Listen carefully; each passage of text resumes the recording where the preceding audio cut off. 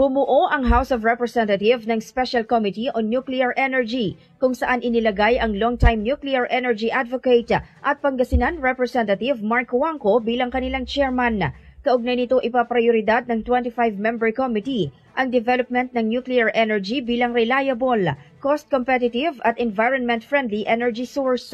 Nangako naman si Kuwangko na bilang halal na chairman ng bagong likhang Special Committee on Nuclear Energy na ilalabas nila ang lahat ng buong katotohanan tungkol sa nuclear energy. Dagdag ng mambabatas, plano niyang ipakita kung papaano magkakaroon ng mahalagang bahagi ang nuclear energy sa pagresolba sa kinakailangang mura at maaasahang electricity sources ang bansa. Hahawakan rin ng panel ang lahat ng mga batas at regulasyon na, may kaugnayan sa nuclear power para matiyak na ito ay consistent sa polisiya ng gobyerno kaugnay sa kalayaan mula sa nuclear weapons. Samantala, dahil sa bagong binuong special committee, ang hahawakan na lang ngayon ng House Committee on Energy ay ang mga bagay na traditional, alternative at renewable energy. Ibinasura ng Office of the Ombudsman ang bribery complaints laban kay dating Senator Leila de Lima at ng kanyang dating bodyguard kaugnay sa umano'y 8 million pesos bribe mula kay self-confessed drug lord Kerwin Espinosa. Ayon sa Ombudsman, kulang ng probable cause ang direct at indirect bribery raps Matatandaan na inakusahan si De Lima na tumanggap ng kabuang 8 million pesos sa pamagitan ng kanyang dating bodyguard si Ronnie Dayan sa loob ng apat na mga pagkakataon. Una ay noong August 2015 na 2 million pesos sa Pasay Mall parking lot. October 2015, 1.7 million sa Pasay Restaurant. November 2015, 2 million sa Burnham Park sa Baguio at noong February 2016, 2.3 million sa Pasay Mall parking lot. Sinasabing ang naturang pera ay para pondohan ang senatorial bid ni Dilima noong 2016, bagay na pinabulaanan ng dalawa ang naturang aligasyon. Nagsagawa ho ang militar ng Taiwan ng live firing drill sa artificial defense sa isla laban ho sa atake matapos ang ilang araw na malawakang war games ng China. Pagkumpirma ho ni Lu Woijie, tagapagsalita ng Taiwan's 8th Army Corps, ang drills ay nagsimula sa southern county ng Pingtung. Matatandaan na noong nakarang linggo nang ilunsad ho ng China ang kanilang largest ever war games sa palibot po ng Taiwan. Bilang tugon sa pagbisita ni House Speaker Nancy Pelosi, ang highest ranking US official na dumalaw sa Self-Rule Island sa loob po ng nakalipas na ilang mga dekada. Muli pong isinusulong ng Makabayan Black sa House of Representatives ang pagbuwag sa procurement service ng Department of Budget and Management na laging napupuna ng mga state auditors dahil sa mga questionableng transaksyon. Sa House Bill No. 3270, binigyan diin ni Representatives Franz Castro Arlene Brosas at Raul Manuel na nagiging breeding ground ang PSDBM ng graft, corruption, inefficiency at negligence of duties ng iba pang mga ahensya ng gobyerno. Matatandaan na noong panahon ng Duterte administration nang unang ihain ng progresibong grupo ang naturang panukala Noong nakarang taon naman, nang imungkahi ang pag-abolish sa ahensya sa parehong kapulungan ng Kongreso matapos na maimbestigahan ang pagbili ng umano'y overpriced na mga medical supplies sa kasagsagan ng COVID-19 pandemic.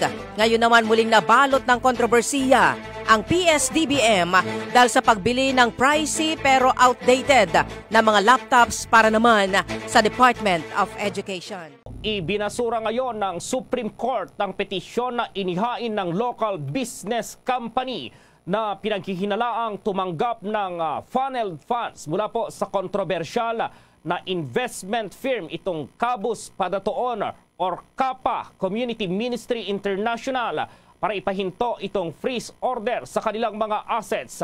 Sa resolution po ng Supreme Court uh, First Division, Ibinasura nila itong petisyon na inihain laban sa Anti-Money Laundering Council or AMLAC ng Hokon, or Hoxon Truck and Part Centers Corporation.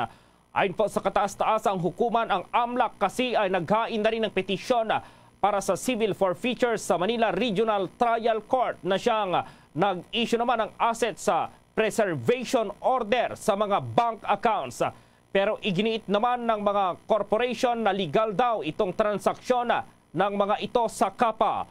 Kaugnay nito, sinabi rin ng tribunal na ang petisyon ay masasabi ng moot dahil nag-lapse na itong 6-month period mula nang ah, ma-issue itong ah, freeze order noong June 10. Noong 2017, ah, nakatanggap ang Securities and Exchange Commission itong Enforcement and Investors Protection Department ng report kaugnay ng Kapa Investment Scheme. Nangako ang naturang grupo ng ah, 30% return ng investment kada buwan. Noong June 4, 2019, nag-issue naman ang Court of Appeals ng parehong freeze order sa mga bank accounts, insurance policies at cryptocurrencies na inilabas ng AMLAC. Kinabibilangan po yan ang mga bank deposits ng mga kumpanyang nakatransaksyon po ng KAPA.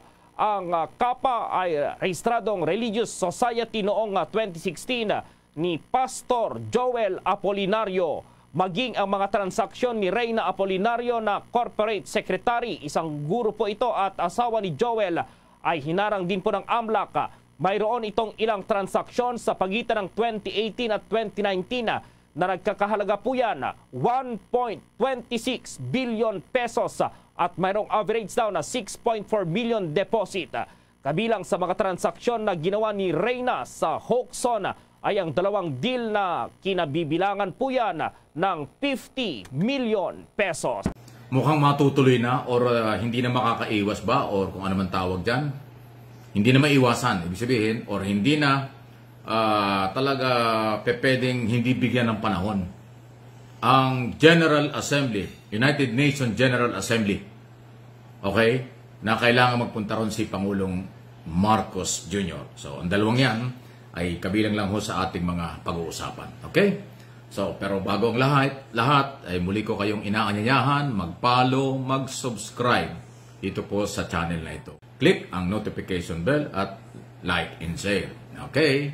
Salamat po sa inyong pagkakataon. Mahalaga ito dahil alam ko naman niyo ang United Nations ay nabubuo yata ito ng more or less mga 200 countries na. Dalawang daang mga bansa na more or less sa buong mundo ang kasali dyan. So, ang sinasabi ngayon ni Philippine Ambassador to Washington DC, Jose Manuel Romualdez, na dating ambassador yan o nakaraang gobyerno pero in-retain tuloy-tuloy, siya pa rin po magiging ambassador, ang kahalagahan ng pagdalo dyan ng ating Pangulong Marcos. At ang kanilang schedule ng General Assembly next month na, September na. Ang sinasabi ng ambassador, kailangan magpunta ron ang Pangulo, makapagsalita ang Pangulo. Mahalaga na ang bagong Pangulo ng bansa ay makapagsalita sa United Nations kung ano yung mga, alam natin, pakikipagrelasyon, pakikipag, uh, pakikitungo sa international community at marami mga bansa na member ng United Nations. Ibig sabihin, mahalaga kay Ambassador Romualdez na personal na magtungo ang Pangulo sa United Nations sa New York, USA, next month. So, mukhang nakaset na yan, mukhang tutuloy na kasi hindi ho ganun kadali na bigla ang schedule kung hindi talagang matinding paghahaba, pag, paghahanda, security, kung ano-ano, protocols, lahat yan. So, well, kaya ako titinalakay kasi alam ko may mga Pilipino, mga supporters, followers, mga Marcos loyalists, ang sinasabi nila noon pa, huwag nang magpunta ng Amerika ang ating Pangulo.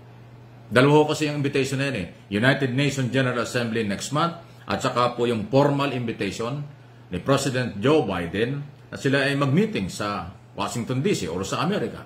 Kung saan ho doon. Malamang doon sa Office of the President.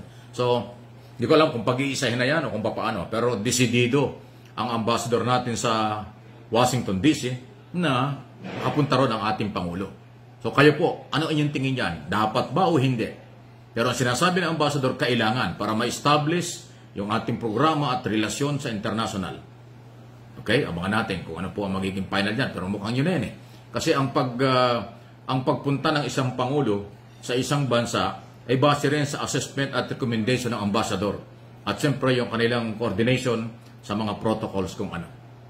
Natapat kasi uh, General Assembly next every year yan eh, natapat ng September. So, hindi natin alam. Pero pwede hong matuloy o hindi. Pero mukhang malaki ang posibilidad na ituloy na yan. Okay? So, pwede kayong mag-comment, react dyan sa bagay na ito. Okay, pansamantala, yan muna po ang ating muling pag-usapan at uh, malaya po kayo makapag-comment, react sa mga bagay na ating mga tinatalakay dito. Maraming pong salamat. Saludo po ako sa lahat ng Pilipino dito at sa abroad.